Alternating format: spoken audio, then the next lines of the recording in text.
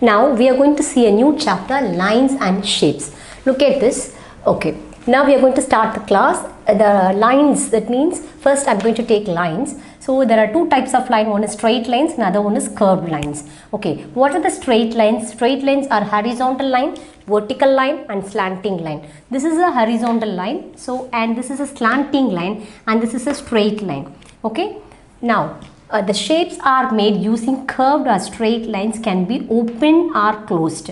The shapes are made using curved or straight lines can be open or closed. So what is this? We have to create a shape. The shapes made using curved. So if you want to draw a shape, we have to use curved or what? Straight lines. Whether it is a curved line or a straight line, we are going to use, we are going to make a shape. Okay. Maybe it is an open or closed shape. Now we are going to see open shapes. There are two types of shape. One is open shapes, other one is a closed shapes. So open shapes, this is the open shape, the example of open shape. So this is also another example of open shape and this also another example of open shape because open shape means it is not completely covered. We can use what?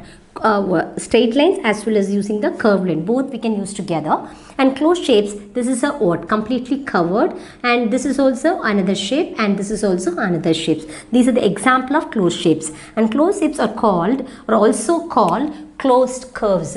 Closed shapes are called are also called closed curves. I'll repeat once again. Closed shapes are also called closed curves. Okay